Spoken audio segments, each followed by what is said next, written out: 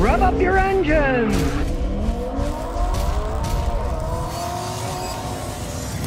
Today I'm talking about Dodge Caravans. Amongst mechanics and the rest of the world, they're often known as the worst vans ever made. Well, let's see about this particular one. Now, I gotta say, this one was probably better made because it was made in Canada. The Canadians do a pretty good job putting them together. But you can also see by the sticker it was made by Fiat Chrysler. When Fiat took over, okay, it's got 115,000 miles on it. And what are the list of things that broke on this car? Well, I'm an honest man. The check engine light came on once because it didn't reach operating temperature. So I put a thermostat in. That's it. original engine, original transmission. So how on earth has this guy gotten a Dodge Grand Caravan to go well over 100,000 miles without having to do anything major. As a matter of fact, he even informed me it still has the original brake pads on it. Is he just the luckiest man on earth? Well, in actuality, this guy really takes care of his vehicles and he doesn't drive like a maniac. Now, this 3.6 liter engine puts out a lot of horsepower with variable valve timing. The problem has always been with these not the engines, but the transmissions. And you know what he does? Every year, he gets a suction device.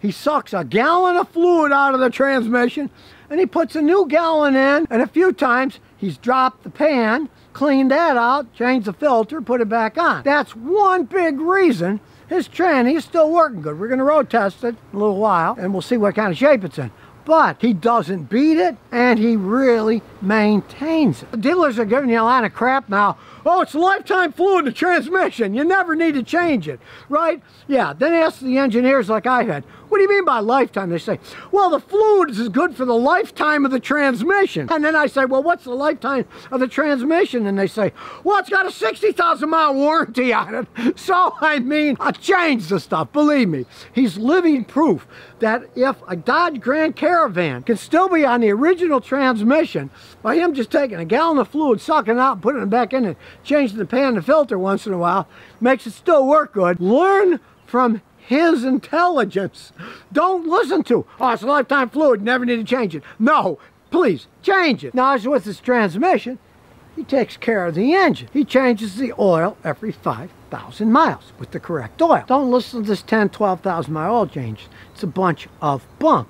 Now, yeah, a lot of these engines. It's the same thing that happened years ago with Toyota and some of their V6 engines in their pickup trucks. People complain that, oh, they got sludge built up in the engine, blah, blah, in these Toyota engines, right? Well, you know how you get sludge? You don't change the oil. It gets sludgy. The motor itself only creates sludge when the oil is too dirty and the chemical additives have worn out then the oil creates sludge. Now back in my grandfather's day, even before my dinosaur days, cars sludged up all the time because they did not have detergent oil. The oil was just a base oil and it would turn to sludge relatively quickly. And the engines, we'd take them apart in the winter, clean all the sludge out. It was a royal pain in the rear end, right? But today, with all the chemicals and all the detergents, all you have to do is change the oil every 5,000 miles.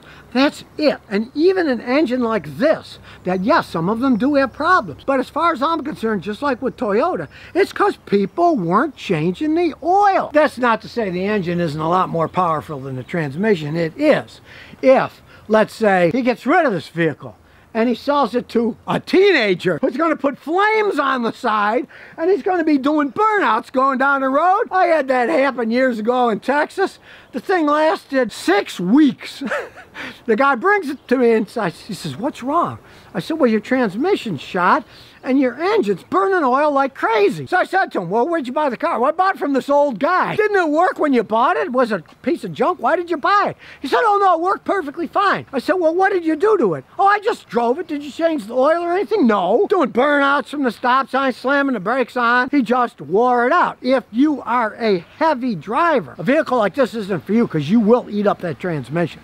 They're not strong enough to take a lot of rough driving, but it's a minivan, right?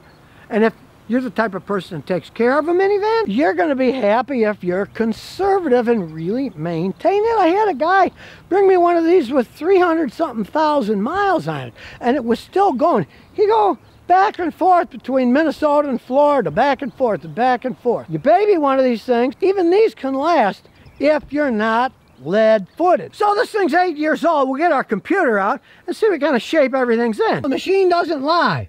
And while we're waiting, they got the cute shifter here. Seats are still good shape. You can see they're going on a long trip. They even sleep in this thing. Hey, there's a lot of room in one of these for an elderly couple to sleep while they're traveling to visit their kids and grandkids. Further testing of this Autel, which I've really found to be a pretty amazing machine in this price point. 2015 RT and Voyager, VIN number, and here we go. Communicating and we're going to diagnose it auto scan. So really i mean he's put a thermostat in this thing and it does maintenance. He still has the original brake pads on the thing. Shows the guy takes care of his stuff. And yes it does make a difference that this thing was made in canada. The canadians do a pretty good job building vehicles. My wife's matrix sitting next door here.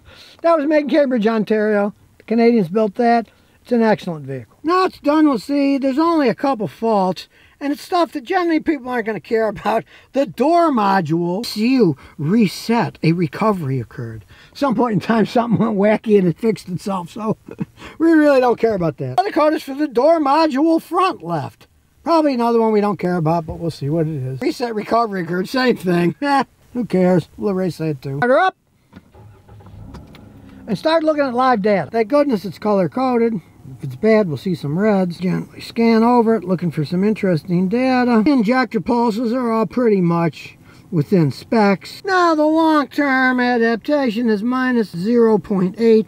Okay, hardly anything. It's almost perfect. Zero is perfect, so it's only off a tiny amount. Exhaust cam desired position 115.6, 115.456. Pretty close to perfect there. And the same thing for the exhaust cam on number two, 115.8, 116, 115.8, it's all pretty close. Meaning that the exhaust cams are not worn. You get a lot of wear there, you're gonna get a lot of differential between the desired and actual. In this case, the engine's still in excellent shape. And the same thing goes for the intake cams. The desires 128.7, 128.34, really close. Gives you transmission information, a torque converter slip and everything, that's all normal. On paper, or I should say digitally, it's an excellent shape. Now let's see how this tranny shifts. Here we go.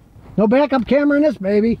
We gotta look. Still going smooth down the road. Well, it's a tranny shift. Pretty smooth shifts. We'll see what happens on a little drag strip when we get there. But for its mileage, still handles pretty good. It is a minivan. It's not a race car. Not going to be taking Mario Andretti corners with the thing. It's not made for that. And he has babied this thing. I don't hear any wheel bearing noise. The wheel bearings are still original and fine. And as you look here, look at this thing. It's getting 27.7 miles per gallon in this big old van. So here we head to our little drag strip. You can see it shifting fine, but now this is not a drag mobile. It is a minivan, but it is wet outside. We'll see how the traction control works, how it accelerates. Here we go. We look back. Nobody's behind us to rear end us. So, on your mark, get set, go. It spun the wheels until the traction control came in. Plenty of power. Smooth shifting. Look, look at those shifts. Smooth under full acceleration. And it is pretty zippy for a minivan. Of course, as you notice, I'm driving at the gas mileage is starting to go down a little. now, I do have to say, the ride is a little bit bumpy, but I put that down to it still has the original shocks, struts on it. They're original. They've never been changed. So if you wanted to get it back to a smoother ride, you could put some new ones on if you wanted. But since it still tracks good and doesn't shake, hey, I'd leave it alone. The tires aren't wearing on even. Hey, it's fine the way it is, really. And so road testing, I gotta say, this transmission's in excellent shape. Still shifts like a dream. So there we go. A Dodge Grand Caravan, known amongst many people as the worst van ever made. And this one was when Fiat Chrysler made it. What do I have to say about this? this thing is still in immaculate shape. So what's happened? Have I passed into some kind of alternative universe here? Where up is down and down is up? Sort of we did, because this guy lives in the alternative universe where people really take care of their vehicles. The average person does not do so. This guy is a fanatic about this thing. He sucks a gallon of fluid out every year in the transmission, puts a new one in, changes the filter and cleans the pan every once in a while, changes the oil every 5,000 miles, it doesn't burn a drop of oil, and he's an old fart like me. he's going to visit grandkids, right? He drives it conservatively. The engine's powerful. The transmission will burn out if you drag it around, right? But if you use it for what it was originally intended, a minivan for carrying a bunch of people around or carrying two people that can live in the back of it while they travel around, they can actually last, especially the ones that are made in Canada. Sometimes you might be surprised that one of these things will last, because I certainly am. So if you never want to miss another one of my new car repair videos, remember to ring that bell.